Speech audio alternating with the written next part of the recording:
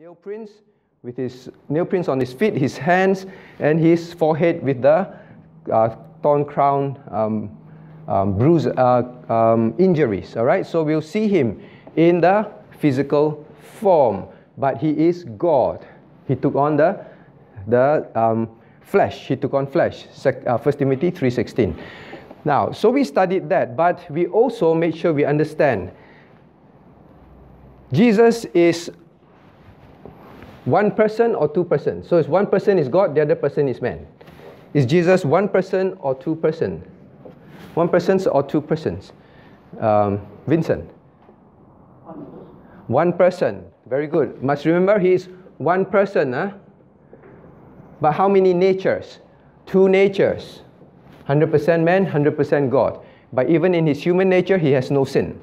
All right? So he is the perfect man. Two natures, but one person. Right? Very important. Um, as we study Trinity later on, we'll get clearer about this God in three persons. Blessed Trinity, right? Three persons.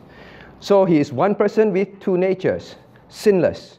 So that is we studied that is what we studied about our Savior. He is God, the very God. Now, today we study about his works. So we study about the person.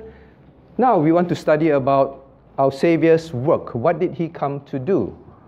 And specifically about salvation work. Salvation work. Now let us turn to our BBK book.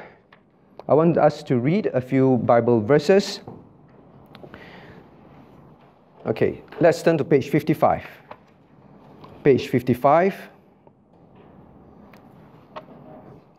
Now, let's read. Can you see Mark 10:45 under his death? Let's read together. For even the Son of Man came not to be ministered unto, but to minister and to give his life a ransom for many. Here the Lord Jesus specifically said, Why did I come to earth? For this purpose, to give my life a ransom for many. Underline this word ransom. I came to give my life a ransom for many. This is the work that Jesus Christ came to do. Now, what is ransom?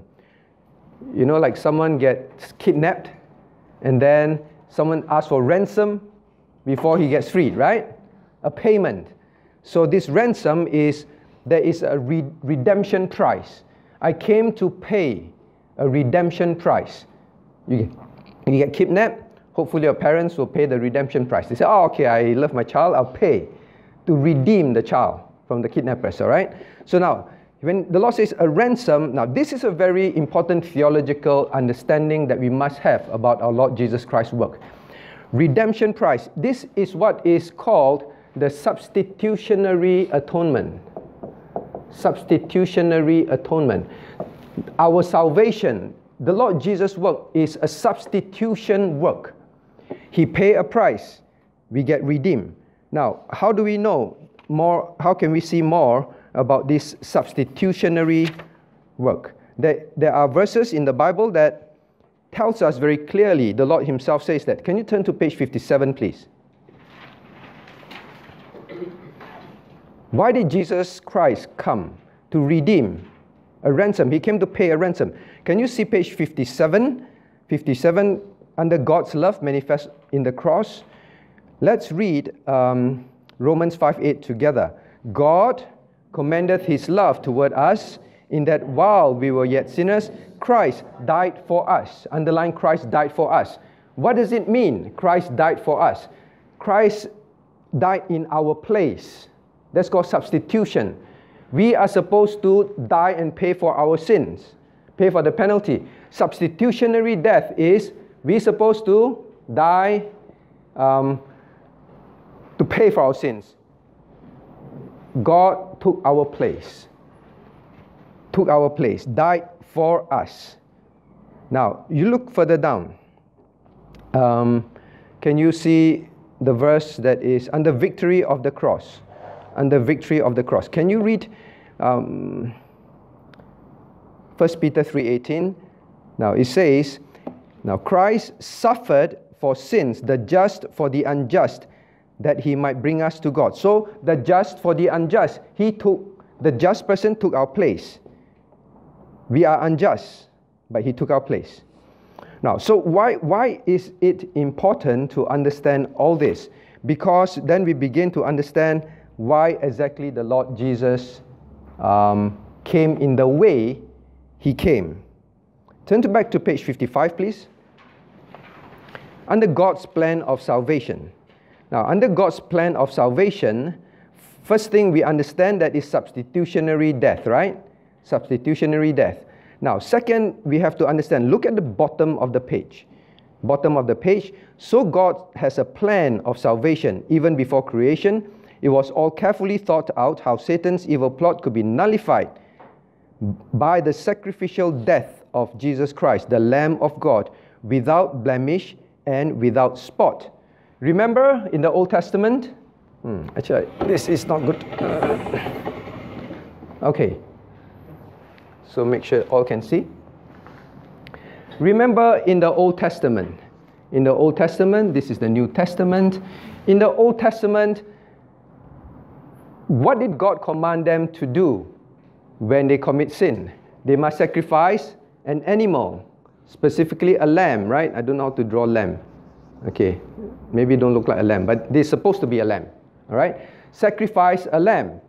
And this, the lamb that they bring to God for sacrifice must be what? Without blemish. Without blemish. They must select very carefully.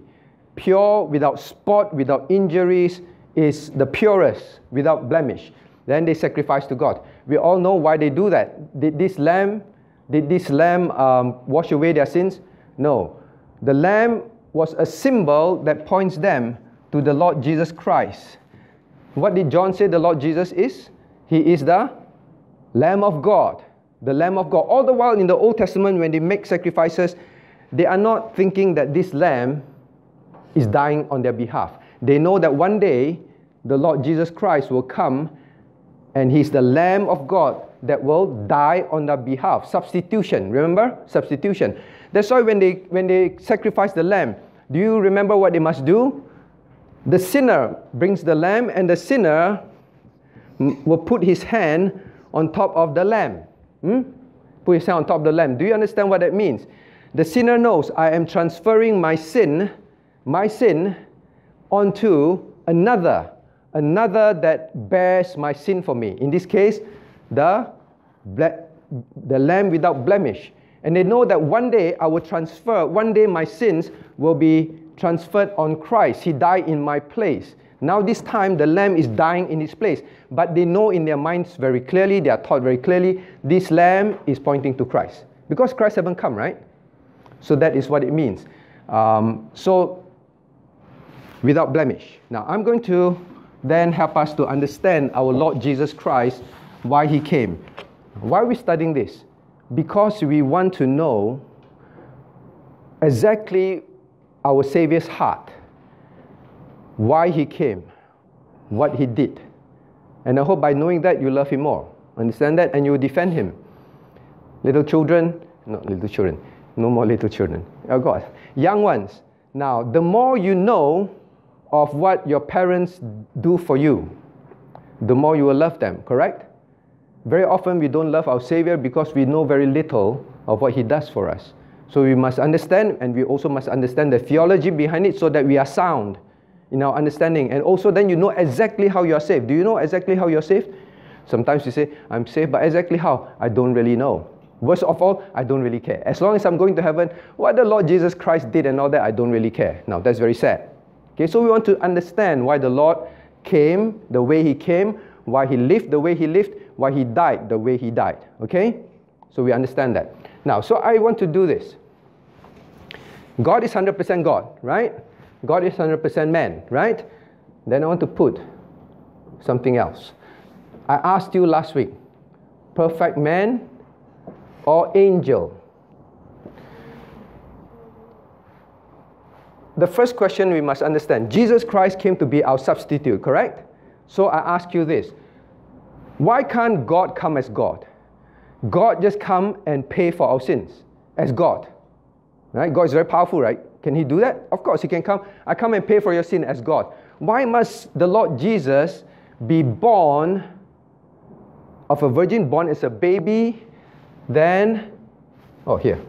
born as a baby, baby, yeah, then grow up to be man. Why can't he just come fully grown adult? Has the Lord Jesus Christ come fully as adult before? In the Old Testament, he did. He appeared to um, uh, Abraham, he appeared to other people as a human, fully grown human. He did not appear as a baby talking to human and wait for him to grow up. No, he appeared, he can. Why did he not come straight away as a full grown adult? So that's one question, right? We ask. Number two, why must he become man in the first place? Why, why not just God? Number three, we also ask if, if, well, we say, because he must be a lamb without blemish, right? Means perfect, right?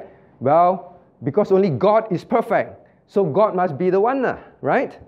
God must be the one. But let me ask you are angels perfect?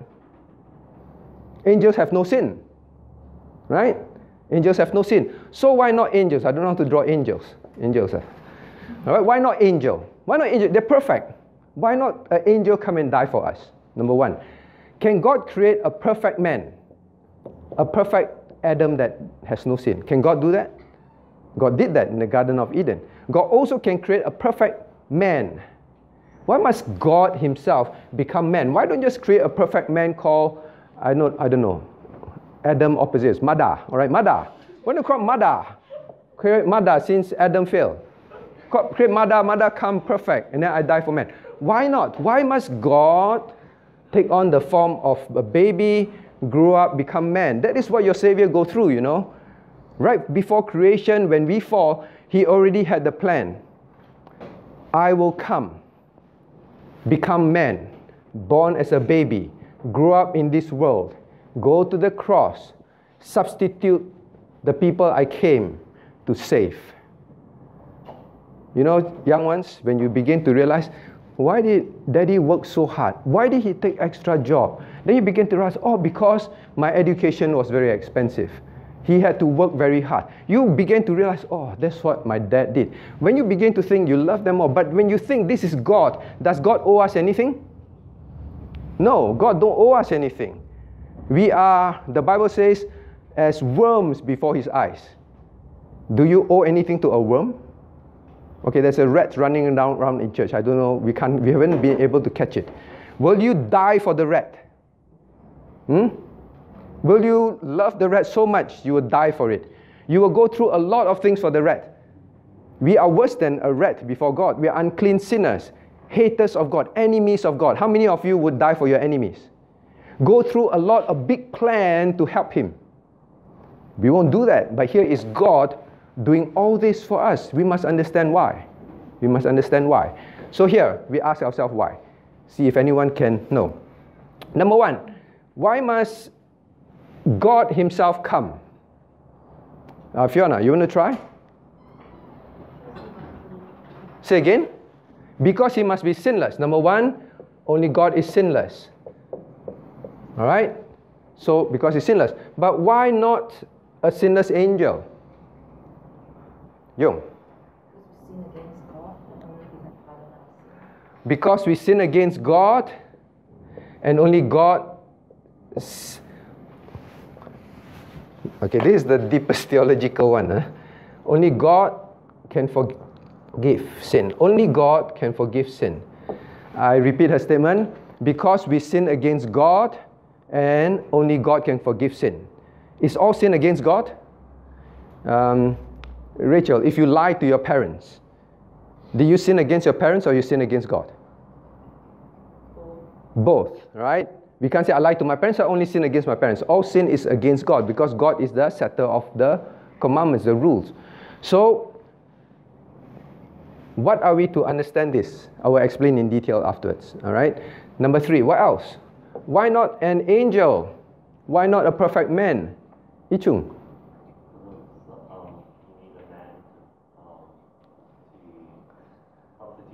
No, I'm thinking about God first. Why must God be the one who come? Why don't God make a man, an angel? Why must God be the one who die for our sins?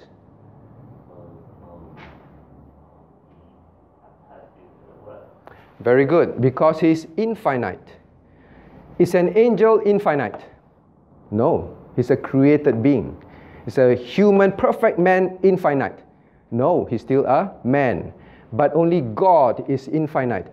Our sin, the payment for sin is infinite. The need to pay for the world, sins of the world, all the believers, infinite. Can a man die for the sins of many? Cannot, because it's finite. Only God is infinite. So, God, in His mind, man has fallen. I can leave them alone and let them all perish. But God says, in order to save them, I do this, still can't save them. All right, I will personally come because I am infinite. That's why God Himself took on um, the task to save man because He's infinite. Now, what about this one? Sinless, correct? Why not this one? Because only God is infinite. Now, what about this one? We must understand this theological truth, and it is something that when we understand, we must love God. I give you an example. Um, maybe, so for example, I owe Caleb, I owe Caleb a huge amount of money, a billion dollars, all right? I owe Caleb a billion dollars. And then um, I can't pay at all. And the only way for, if I can't pay, I go to jail for the rest of my life, okay? There is a payment to be made. So I owe him a billion dollars. And then um, Esther comes along. Esther says, uh, Pastor, it's okay. Never mind. Forget about it. All right? It's forgiven. Just, just, just forget. Don't worry about it. Is the debt paid? Is the debt forgiven? So, in what situation can I get out of that debt? Caleb. I say. if Caleb say, ah, all right lah, I write it off. Bad debt. I just write it off. No need to pay. I write it off. Then I'm free, right? I'm free to go, right or not? You see, I sin against Caleb.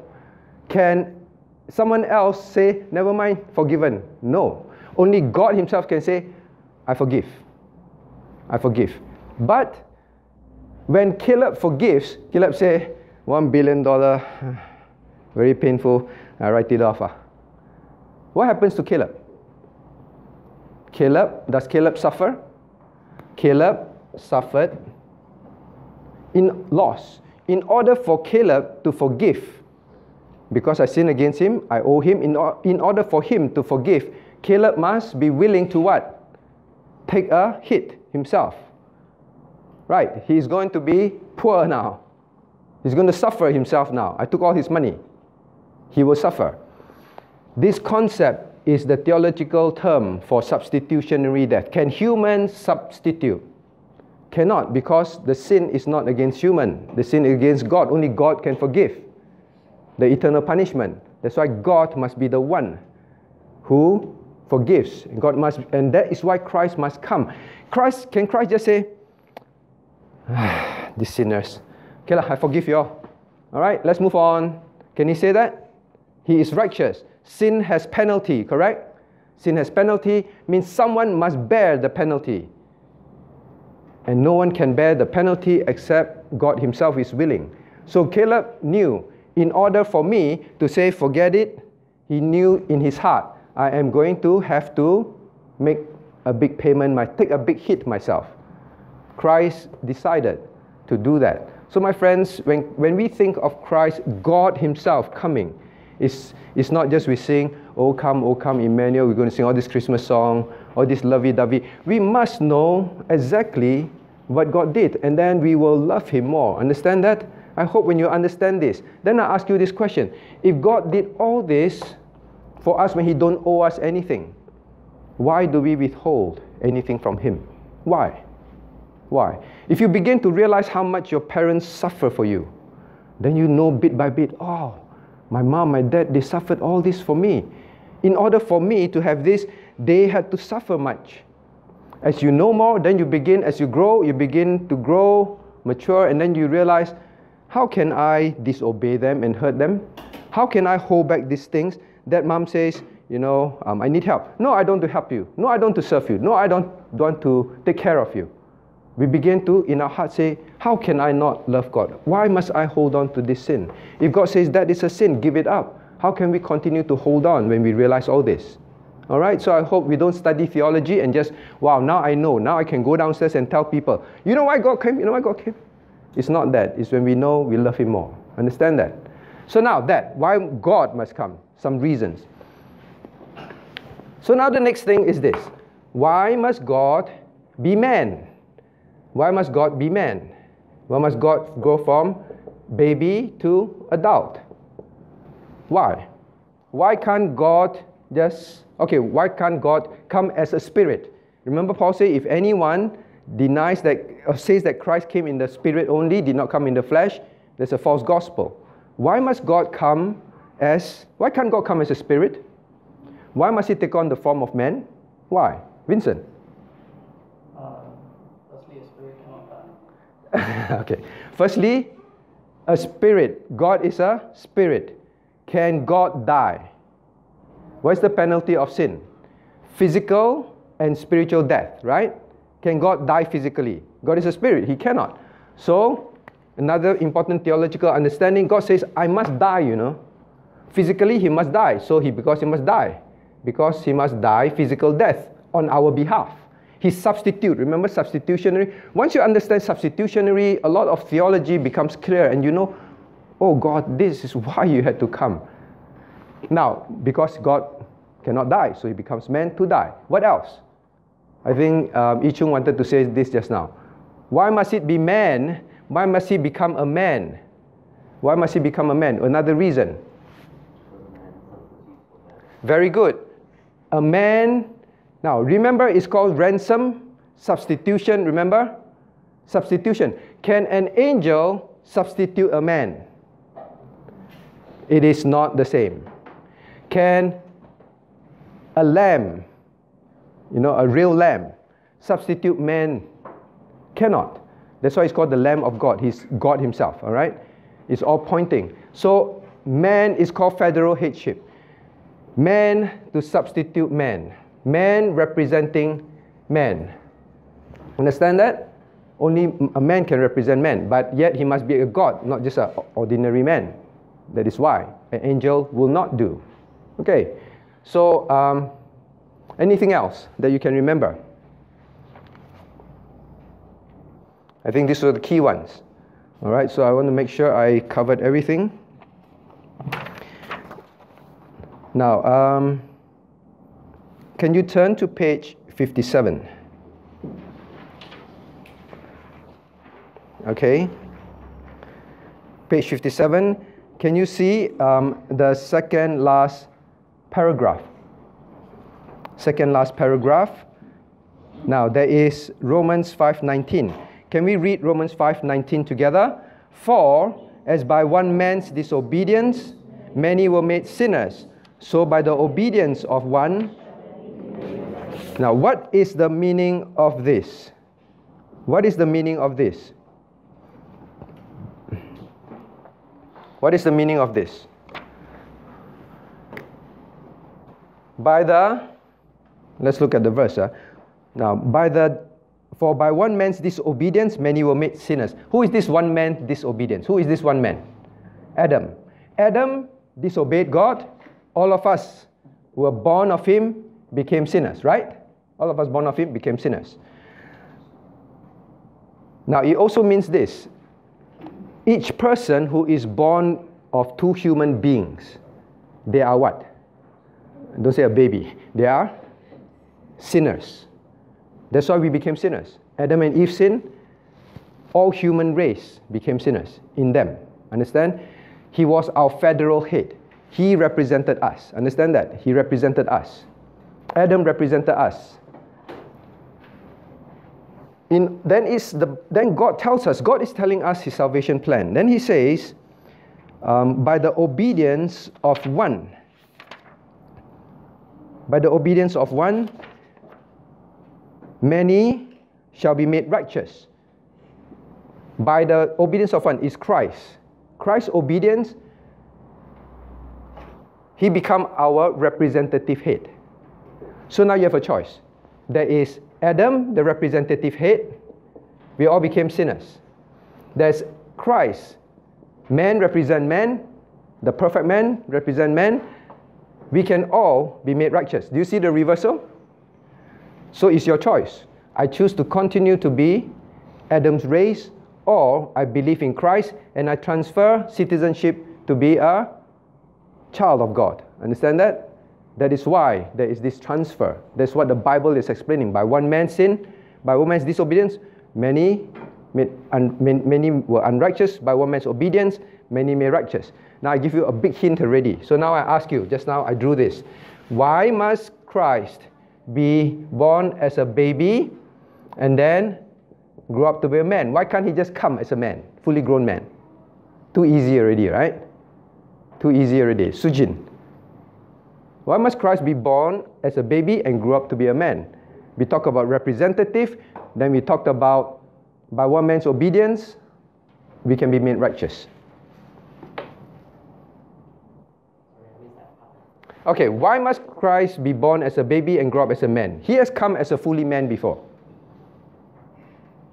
Why? Esther, you want to try? Why? This Christmas, we are going to sing about the Holy Infant. Why? Why must he come as an infant? Anyone want to try? Oh, Justin wants to. Huh?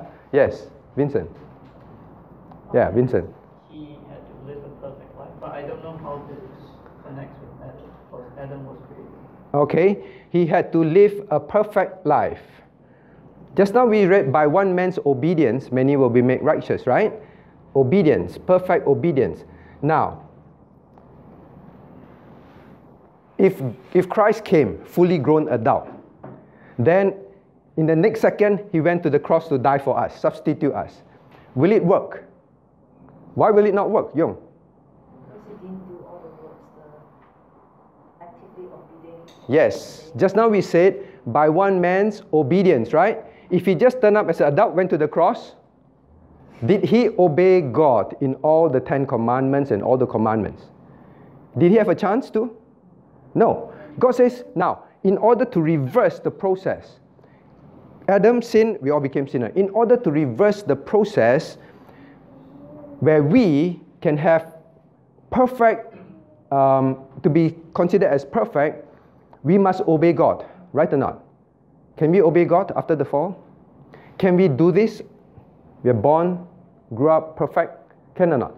We know we can't. God knows we cannot. But yet, in order for one man's obedience, many be made righteous to reverse the process, Christ must come and obey perfectly for us. Understand that? Remember substitutionary? Christ only not only substitute by his death, Christ also lead a perfect life in our, for, on our behalf. Do you know why the day you are saved, God stamp on you?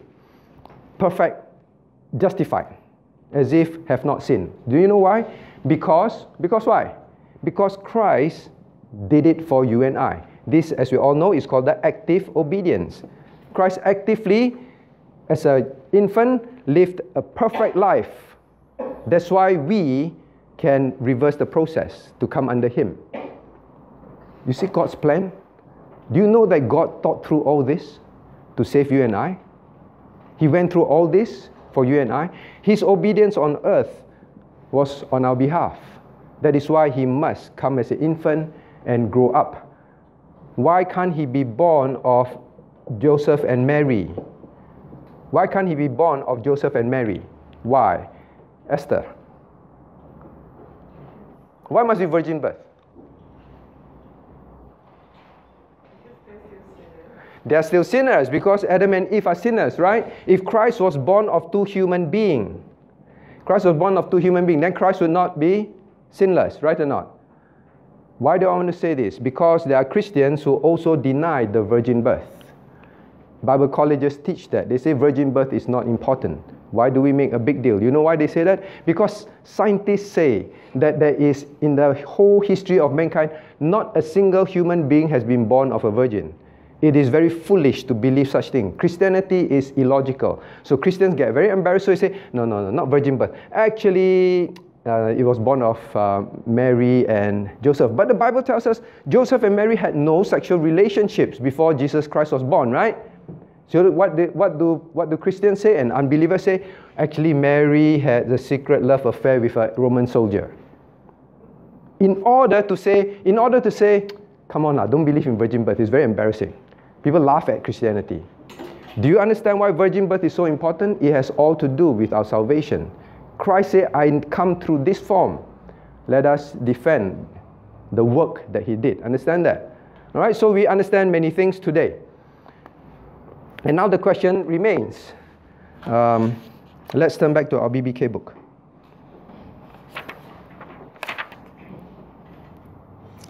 Back to our BBK book.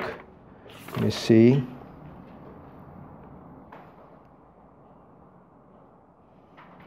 Okay, so based on this, is Christ being 100% God important? Very important because of all this. Is Christ 100% man important? It's important because of all this. Christ did all this. Did he need to do it? No. But you know how complex this is? And Christ willingly did it. So I want to finish this lesson again by reminding us when we know all this, is not to bloat up our minds, is to love our Savior. God, I will not hold back anything else from you now because now I understand what you did for me. And when you understand this, your salvation is also very firm. You understand how you're saved, all right? Which we'll cover more later. Okay, so uh, turn back to our BBK books, please. On page 58, all right? Page 58. Page 58. Now, the last part. Um, here we say, We are justified by his blood and saved from the wrath. We are reconciled to God. We are made, once we are aliens, once we were aliens, but by the blood of Christ we were made close to God, nigh to God, reconciled with him, being citizens and members of the household of God. Once we were enemies, now we are reconciled, friends and children of the holy God. So, this is, all this is to reconcile us to God the Father. Christ did this to reconcile us to God the Father. We were saying Christmas hymns. Oh, be ye reconciled, be ye reconciled to God. Peace on earth, goodwill to men. What peace? We are reconciled to God. All right, so I hope this lesson gives us a clearer understanding of Christ. Let us pray. now, we will cover 13 key well known denominations. 我们要讲到三个比较驰名的宗派，是三个， Their timeline and how they split, 他们的时间线，还有他们怎么样分出来， how the groups form. 他们是怎么样组成的。 Okay, so let us turn to your diagram, please. 我们现在看我们这个图，